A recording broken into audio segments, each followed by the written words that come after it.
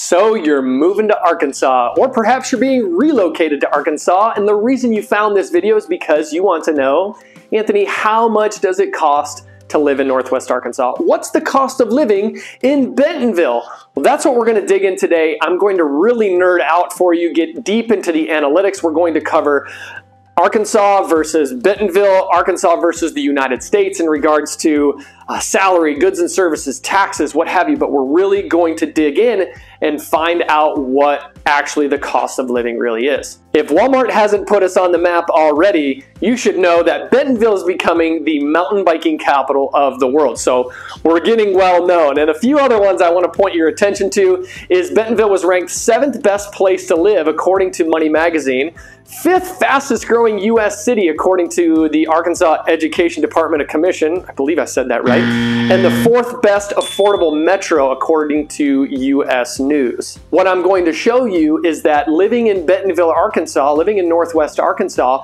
is not one of the cheapest places to live in the United States, and I'll back it up with information showing you how. Is this information helpful? Hit that like and subscribe button. New videos come out every week. And of course, in the comments, let me know what's something you'd like to know more about when it comes to Bentonville or Northwest Arkansas. All right, this first chart that you're looking at is a cost of living index based on the number 100. You'll notice real quickly that Arkansas is highlighted in green as one of the cheapest states to live in the continental United States. I apologize, those of you that are in Hawaii, it got cut off. It's closer to 160, similar to one in California is 151.7. You'll see that Arkansas, again, is the second cheapest state here. Now, this takes into consideration housing, food, childcare, transportation, and other items. One of the major pieces about moving to a new city is understanding how far will your dollar stretch. So if you're being relocated here and your employer is moving here, you need to figure out, okay, they're paying me $100,000 a year. That's the number that I used on this next chart.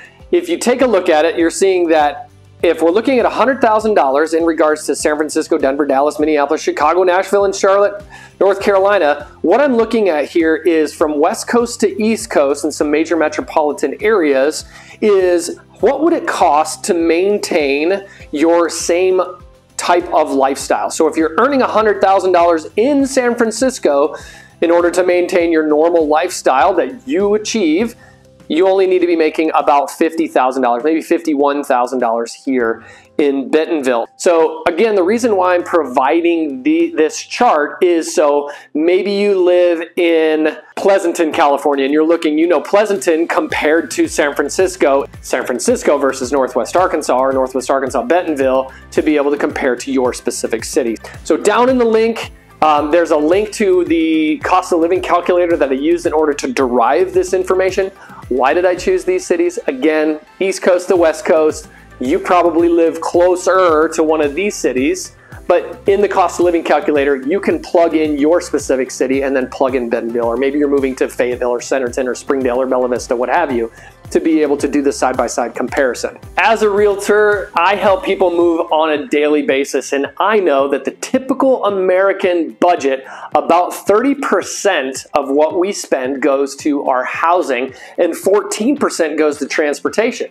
So before I dig into housing, let's go out and check out some local gas prices. All right, this is the Casey's gas station on the corner of 72 Central and J Street. So diesel is 389, unleaded is 302. All right, here at Kum & Go, unleaded $3.03, mid-grade 333, and premium at 368. Not to forget, diesel over there, you can see diesel is at 389. Okay, I gotta get back across town, so talk to you soon. Gas prices, as you know, fluctuate from time to time depending on what's going on, the time of year, the political climate, what's going on overseas, to where we get our crude oil from. So hopefully me going on around town was fun for me, but help give you some idea of what gas is like. Okay, back to housing. 30% of your budget is spent on housing. Of course, if you don't have a mortgage and you're free and clear on your house, that's a different line item, but we're talking about the general American. And we're looking at, again, West Coast to East Coast in the cities that I talked about earlier, what the housing costs are and what they look like as far as an average home in that area. You'll see these first two lines here, they're showing the national average of homes across the country is a little over $450,000. Again, that's probably taking into consideration your, your farms, your single families, your townhomes and condos. This next line that's coming up is the average home in Bentonville, Arkansas, $370,992. Now we can start plugging those in comparison. Okay, of course, San Francisco is going to be one of the highest on the list little over $1.5 million for an average home in San Francisco. Minneapolis, we used to live there, close to 400,000, and then Charlotte, North Carolina at 377. The most comparable in regards to housing to Bentonville is going to be Charlotte, North Carolina. Let me tell you a little bit about my family if you didn't know already. It's me and three girls, my wife, and we have twin daughters. So, of course, we're all showering, we need to do laundry, we're all active. Of course, it's not summer months, but I do have my utility bill right here. This is my water bill for last month was $102.92. To give you an indication, that's very common as far as our house throughout the year is anywhere from 90 to about $110 depending on if it's summer and we're using more of the outside sprinkler and whatnot. But about $100, $110 a month is what we're seeing on our bill here in Bentonville. There are two things that are for sure in life, death and taxes. We're not talking about death today. Today we're talking about sales tax, property tax, and income tax. So I'd like to direct your attention to this next chart, which is talking about what are sales taxes in your area. So if you look on this chart, you'll see that Arkansas at 9.46% is the third highest state as far as sales tax in the United States. What? Are you kidding me? No, I'm not. So let's bring it down to Bentonville. Bentonville, uh, as far as Arkansas, has a 6.5% state tax, a 1% Benton County tax, and a 2% Bentonville tax. So about 10% is what you can be budgeting as far as when you go out, consume, go to dinner, go to uh, buy something at the store here in Bentonville is it close to that 10% mark. So people moving here from all over the United States have different tax rates and what have you. Arkansas is actually one of the states in the United States that has a graduated scale for your income taxes based off of your income level. So looking at this next chart, you'll see that Arkansas at 5.5% is one of, uh, one of the lower ones on the chart here.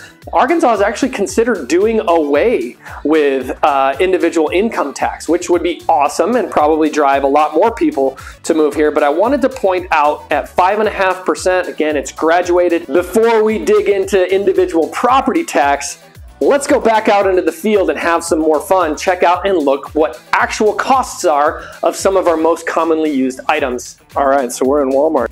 12 eggs, 444. Great value brand. Let's go up to Highlands. Eggland's Best, 547 for 18. Gallon of milk at Walmart, 656 for the Hiland brand. And down here, 338 for the Great Value brand. They put the eggs and the milk conveniently close together for me here at Aldi.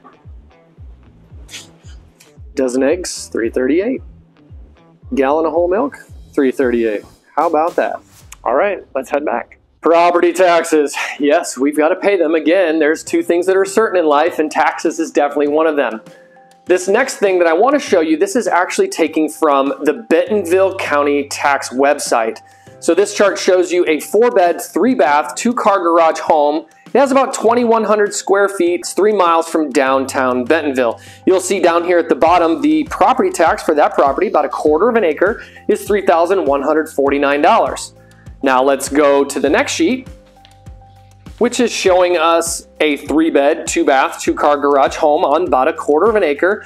That's about a half a mile from the square or half a mile from downtown Bentonville, and this is a 1,484 square foot home. Total tax is $5,612.55. You'll also notice on here there is a homestead credit. If this is your primary residence, you get a tax credit on that. Before we move on to the next section, wanted to let you know, so that's here in Bentonville as far as those taxes are concerned. So when people come to me and they say, Anthony, what are the taxes like there? It's like, I mean, what are we talking about? Property, income? Are we talking Bentonville? Are we talking Gravette?